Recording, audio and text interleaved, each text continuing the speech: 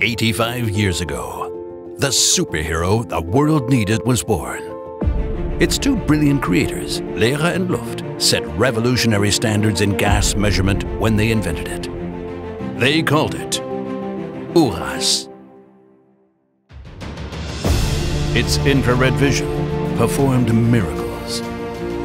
In an instant, URAS could analyze the composition of gases at industrial plants. The first gas analyzer to do this. It measured carbon dioxide at a time when nobody talked about climate change.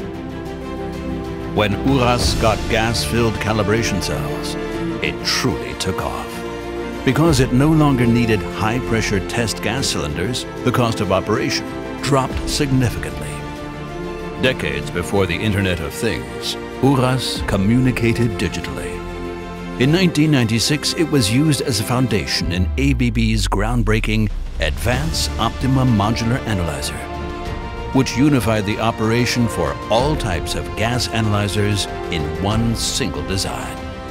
It also evolved into the Smart and Simple EasyLine series and the robust EL3060, used for measuring gas in hazardous atmospheres.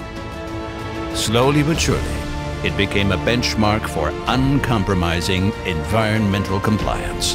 Today, URAS is everywhere. It monitors gases that comes out of chimneys, on land, and at sea. It measures gas components to secure optimal and safe process conditions and to prevent industrial gas explosions. It saves lives in hospitals by measuring the CO2 levels in diagnostic breath tests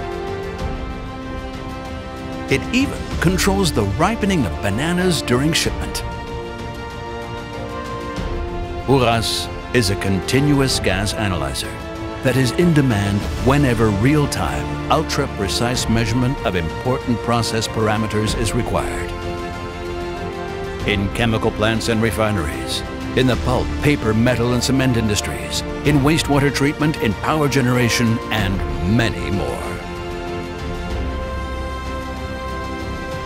Born in 1938, URAS is more than ever the hero the world needs. And it will continue to write the future, even in the future.